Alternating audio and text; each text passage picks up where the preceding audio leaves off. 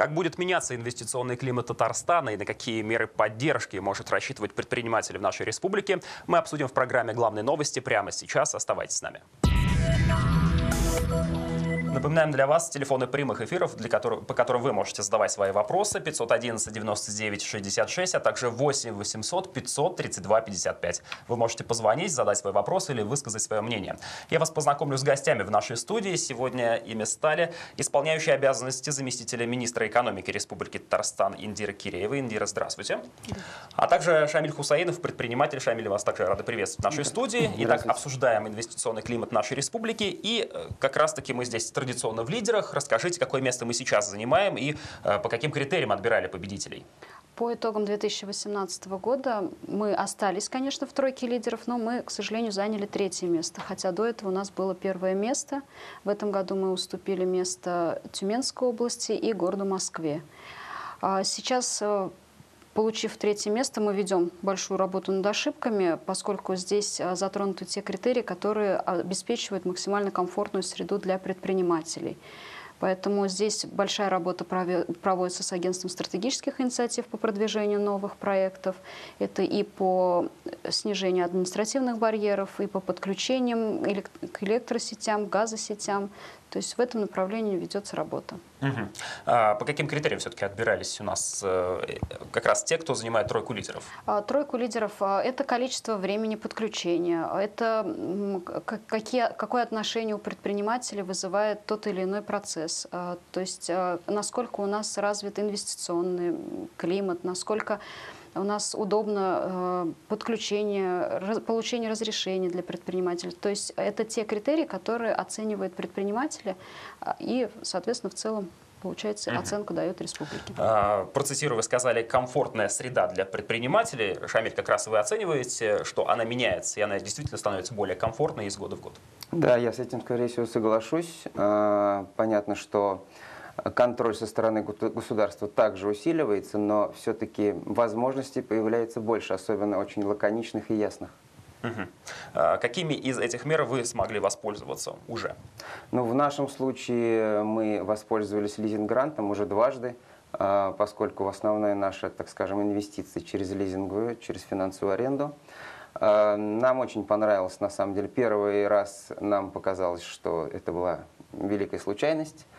Но, однако же, э, приоритет мы именно этому мероприятию отдали. И э, в этом году, в 2018 году э, как-то достаточно все просто прошло. Угу. То есть для вас процедура была достаточно простой, да, э, простой, да. и вы смогли воспользоваться данной мерой поддержки. Расскажите, пожалуйста, какие из всех мер существующих, их достаточно много, если заглянуть на сайте, а, какие пользуются наибольшей популярностью сейчас у предпринимателей республики? А, наибольший, я бы, конечно, отметила, это в первую очередь не финансовые меры поддержки, это различные форумы, которые проводятся, это перезагрузка, перезагрузка 2.0 у нас была, это свыше 15 тысяч предпринимателей. То есть это образование для предпринимателей? Образование образование, да, да. Это тренинги мы проводим различные для предпринимательского сообщества, причем они могут быть э, также узконаправлены, допустим, там мама предпринимателя, азбука предпринимателя. Проводим, э, мы хотим, э, ну, чтобы в этом участвовали не только города имели возможность участвовать, но также муниципальные районы. У нас есть бизнес-десант, когда мы кустовым методом собираем несколько близлежащих районов, и также мы проводим различные образовательные проекты, и фабрика предпринимательства. Здесь э, свыше бизнес-десанте свыше полутора тысяч субъектов малого и среднего бизнеса. По фабрике свыше 600 э, предпринимателей принимали участие. А если мы уж все-таки обратимся к финансовым или не финансовым, здесь мне бы хотелось отметить, как Шамиль сказал, это гарантийный фонд Э, Республики Татарстан, который э, выдает поручительство. Кроме того, есть... Я предлагаю сейчас как раз показать телезрителям сам сайт гарантийного фонда, куда может зайти да. абсолютно любой. И да, продолжайте. И вот на сайте как раз вы видите, что когда вы заходите на сайт, это единый центр кредитования. А, можно заполнить заявку предпринимателям и, соответственно, получить доступ к различным продуктам, которые будут ему способствовать для ведения бизнеса и пополнения э, финансовых ресурсов. Здесь мы видим, что можно выбрать тип займа, да. сумму интересующую, то есть послать первичную заявку, первичную которая заявку, будет рассмотрена. Да, которая в течение 24 обрабат... часов обрабатывается специалистами, и дальше предприниматель получает обратную связь. Есть также мост возможности совместно с банком ВТБ было проведено. А, по поручительствам, то, что вот Шамиль сказал, в этом году получили около 200 предпринимателей. А, общая сумма была свыше 1 миллиарда рублей, и это позволило привлечь заемное финансирование на 3,6 миллиарда рублей для предпринимателей. У нас э, большой поддержкой пользуется фонд э, поддержки предпринимательства Республики Татарстан, который у нас расположен э, на Петербургской дом 28, где как раз аккумулированы различные меры финансовой поддержки для предпринимателей республики. Если э, возвращаться к теме нашей программы, говорим про инвестиционный климат, какие мероприятия проводятся в нашей республике для улучшения состояния климата в нашей республике, для привлечения инвестиций, в том числе из-за рубежа? У нас э, по итогам вот как раз объявления национального рейтинга э, мы получили, что у нас есть лучшие регионы, и, соответственно, мы решили посмотреть их опыт и применить его в республике. Мы тогда совместно с органами исполнительной власти была разработана дорожная карта, по ней мы э, действуем сейчас, э, мы и органы исполнительной власти. Э, было несколько направлений нашей деятельности. Первое – это мы пытались оптимизировать э, предоставление услуг, госмуниципальных услуг в электронном виде. Для этого на портале госмуниципальных услуг у нас отдельная вкладка появилась для бизнеса, чтобы предпринимателю было комфортно заходить на сайт и уже в одном месте видеть те услуги, которые ему предоставляются. По газификации у нас а, бизнес а, интернет-портал был а, доработанный, разработанный. Сейчас по газификации в режиме онлайн также предприниматель может отслеживать. Сетевая компания большую работу провела что позволило повысить уровень подаваемых заявок с 14 до 75 в электронном виде. Также по технологическому присоединению количество дней было уменьшено. То есть э, оптимизация идет по многим направлениям, и мы готовы к общению. Мы бы хотели, чтобы предпринимательское сообщество оно заявляло, то есть там, где есть проблемы, э, ну, чтобы оно обращалось к нам, поскольку мы иногда не видим. Угу. Э, да. У нас есть такая возможность прямо здесь сейчас за этим столом. Шамиль, э, какие э, наиболее актуальные вопросы сейчас у предпринимательского сообщества, тем более, что вот сейчас за одним столом, столом можно задать прямой вопрос, чтобы вы выделили ключевых?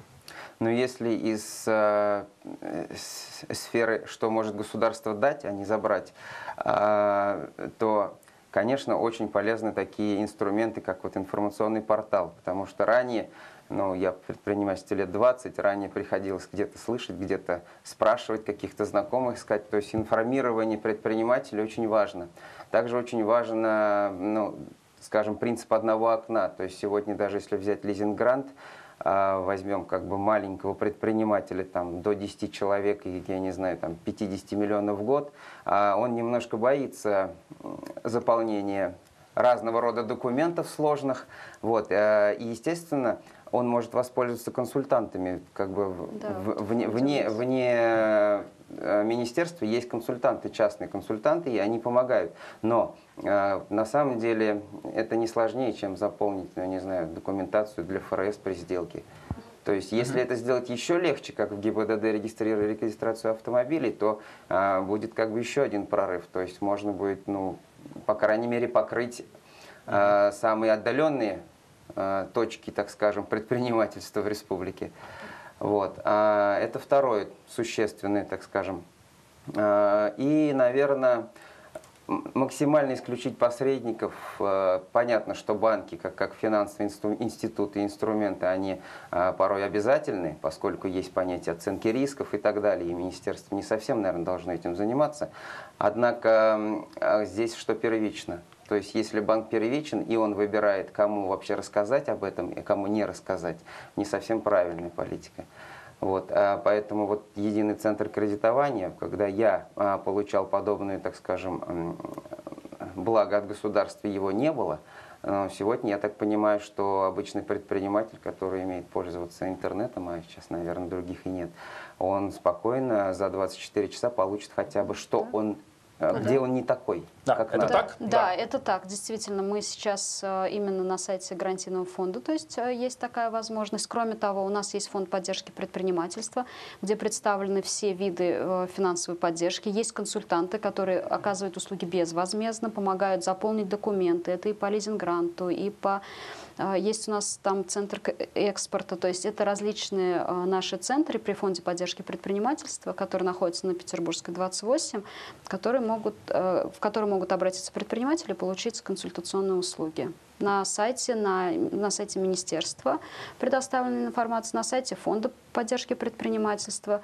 Кроме того, по вторникам у нас э, в, в Доме предпринимателя на Петербургской 28 осуществляется прием граждан, где также предприниматели могут прийти и задать интересующие их вопросы. Я так понимаю, то, что мы сейчас перечисляем, входит в понятие снятия административных барьеров, о чем часто говорим в нашей программе. Расскажите, что в себя включает это понятие, и такая задача по-прежнему стоит перед Министерством экономики? Да, снятие административных барьеров – это основная болевая точка, скажем так, по которому у нас и мы получили низкие баллы, поскольку зачастую, и причем это сейчас обсуждается не только на региональном уровне, но также это на федеральном уровне. У нас э, в середине января 15-17 числах прошел Гайдаровский форум, где как раз э, Дмитрий Анатольевич Медведев э, про это рассказывал, что необходимо снизить административные барьеры, поскольку очень много препятствий, э, каких-либо требований для предпринимателей, которые ну, так называемые динозавры уже с советских времен остались, их сейчас надо оптимизировать. То есть э, в этом году будет э, основная работа именно направлена на это. То есть э, федеральные направления заданы. Я думаю, что на региональном уровне мы тоже сможем максимально сделать для того, чтобы было комфортно предпринимателям. Угу. Шамиль, вас, конечно, к динозаврам не отнесешь. 20 лет в бизнесе вы не застали тогда советских, советскую эпоху, но тем не менее, насколько вам сейчас бывает где-то сложно преодолеть этот административный барьер? Ощущаете сложности при подаче куда-то документов, э, необходимость донести какую-то справочку? Ну, как... сказать, что этих сложностей до сих пор нет, э, нельзя, надо быть объективным. Однако с, с момента, там, ну, скажем, десятилетней давности, конечно, их стало меньше.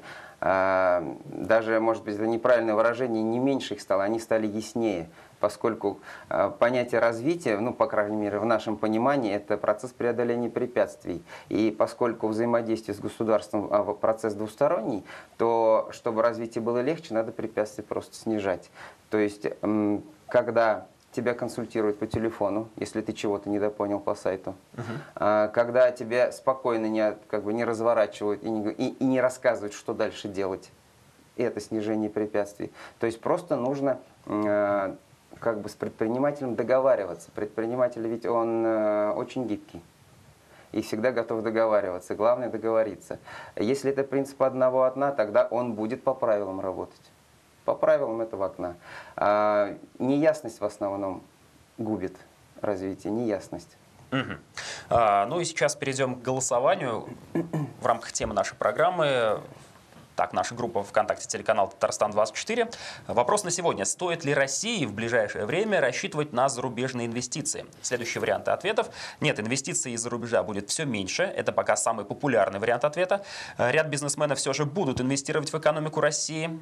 Прогнозы в данном направлении делать сложно. И другое. Но сейчас э, пока наиболее негативный прогноз э, популярен среди наших пользователей. Э, Индира, подскажите, как бы вы проголосовали и так ли это, отражает ли статистика действительность? Ну, зная определенную информацию, я могу сказать, что ряд бизнесменов все же будут инвестировать в экономику России. У нас есть определенный пул проектов, э, по которым инвесторами выступают зарубежные страны.